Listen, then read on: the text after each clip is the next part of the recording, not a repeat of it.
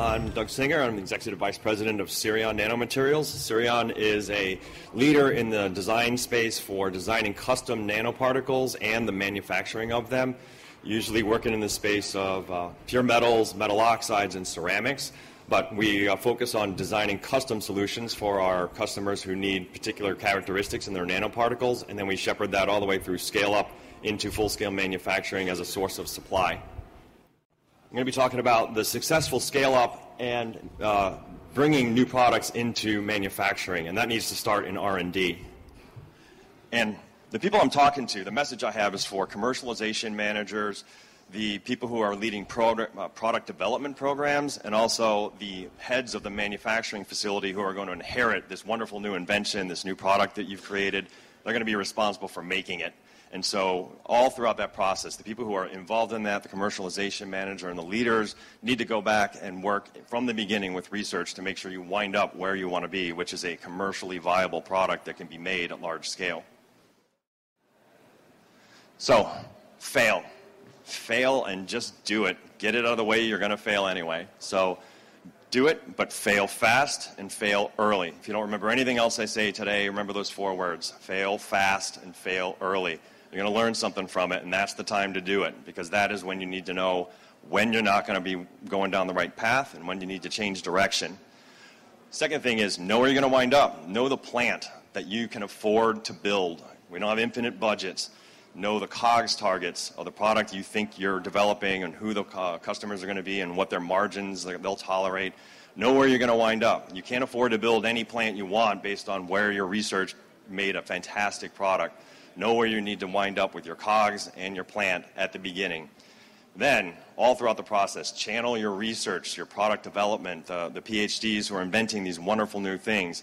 Always be steering them toward the easiest possible reality, because that will re- result in the, lo- the smallest plant, the simplest plant, the cheapest plant, and the smallest um, manu- unit manufacturing costs. So, those are the three, three points I'm going to hit on. So, fail fast and fail early no one has ever commercialized anything 100% successfully from beginning to end. So don't think that you're uh, going to be chastised for making mistakes. Do it at the beginning of every step. Uh, do it in research, then do it in development, then do it in pilot, and then do it in your plant design. Because that's the time when you can nip the problems in the bud, change direction, and cache any learnings that you have. How do you do that in general? When the product is being invented in the lab, when it's being developed in the fundamental scale, find out what it's susceptible to. Probe the product and process space. Try to figure out what might break your product. Try to figure out um, what about the process it's super sensitive to. Find out all those things. Researchers, uh, uh, even at Cerion, tend to find that optimum point and say, I'm going to stay right here. I, customer trade trialed it. We sent it out. We sent them 100 grams, and it worked fantastically. I'm not moving from this tiny little fulcrum of the, the point of optimization. Get away from it and find out where it breaks. Now, you got to push the product and the process until it fails. And then, here's the key to failing early find experiments that you can mock up very quickly, whether it's in research or you're mocking up development, prototypes of process equipment. Just put together the bare minimum of what you need so that you can get the answer to is this super sensitive to temperature? Fine, run it plus or minus 100 degrees C. Does it work? Great. You're super robust. Does it fail?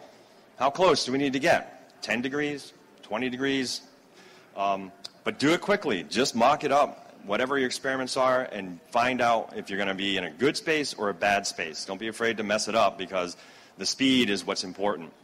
And the, the benefit of all this is you're going to find out where you fail and you're going to find out what doesn't work, but those four things you find, like oh my goodness, we are super robust and, and we could double the concentration and increase the yield. I didn't think we could do that in research. And the development team said, we just doubled it and, and it worked. Imagine cashing that right at the beginning of your product development cycle. That's what you can accomplish by just going out and finding where you might break the product, break it, and then find out where it doesn't break.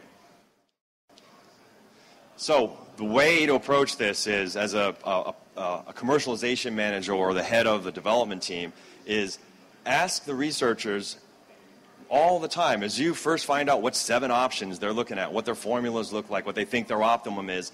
What happened when you double the reactant concentration? What happened when you cut the reaction time in half? What happened when you decrease pressure? Um, and what do you think broke? What do you think might break if you did that? And it's important to ask the question that way because the, the benefit of this whole process is when you ask the person who invented the product, what happened when you doubled the concentration of the raw materials? Nine times out of ten, the answer is, I don't know. I didn't do that. I didn't want to. I didn't want to get anywhere away from my space. What happened when you ran at lower temperature? I don't know. 850 degrees worked. I'm, I, I didn't go to 400.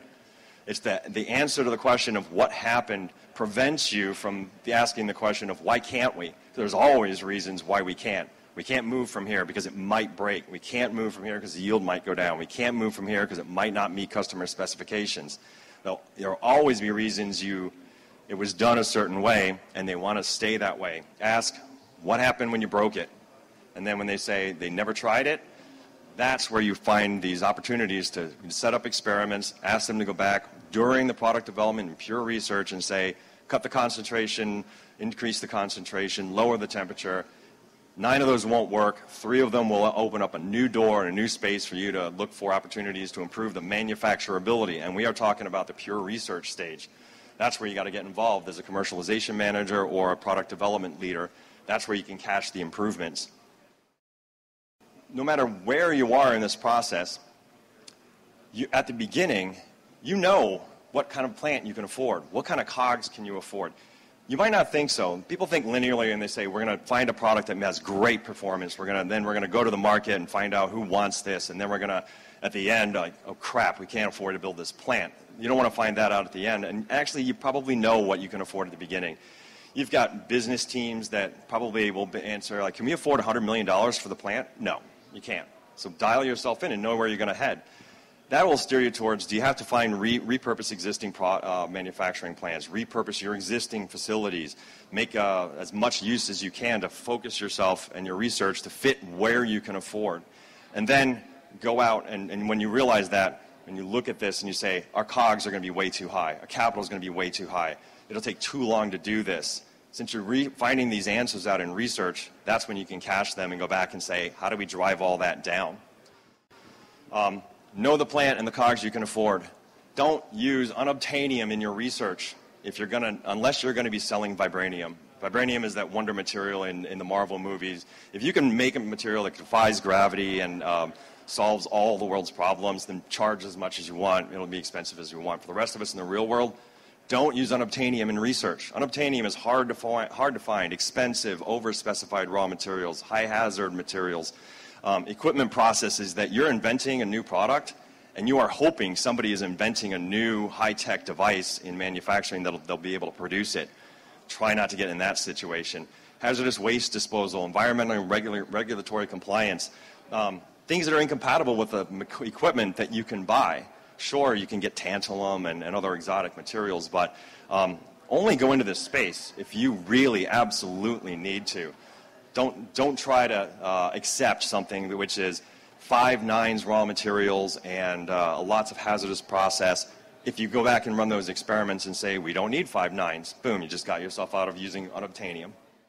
So know where you got to end up. And then each point, find multiple options whether it's at research and then you repeat this in development when you're trying to, starting to scale up. You're trying to go to 100 kegs instead of um, two, two kegs or something.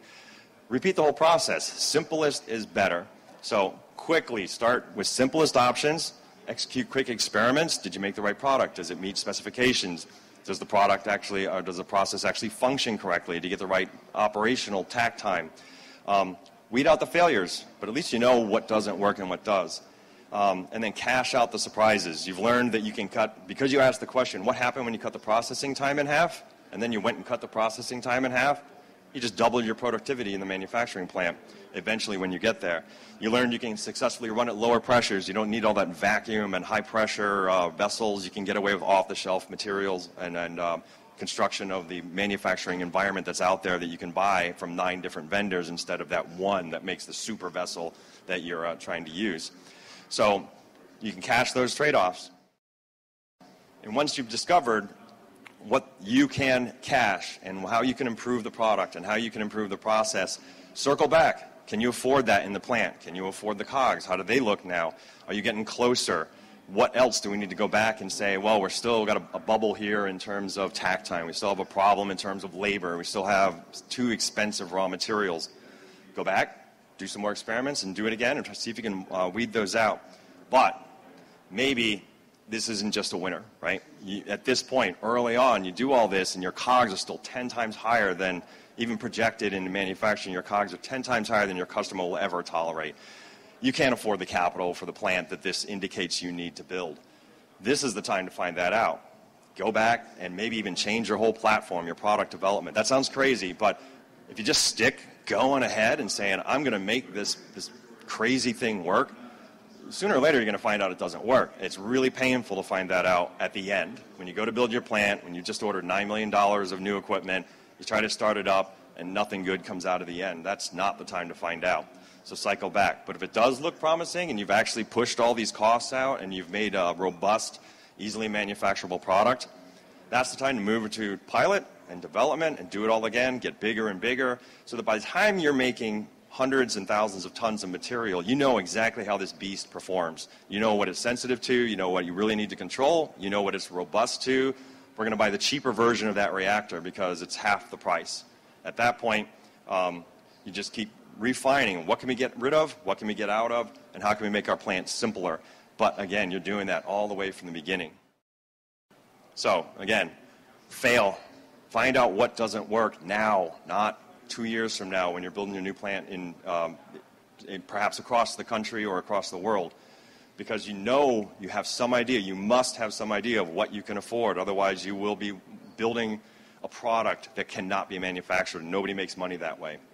Um, and lastly, that's where you know you need to end up, and you know the way you get there is by failing and trying to understand exactly what you can do and what you can't do, and then always steer your product development towards the easiest possible real- reality so that that is the cheapest thing to manufacture, the cheapest plant to build, and the lowest cost, which is really where you want to get to. We need to get from the creative invention all the way to the end of tons and tons and tons of material coming out and uh, supplying your customers with what they need.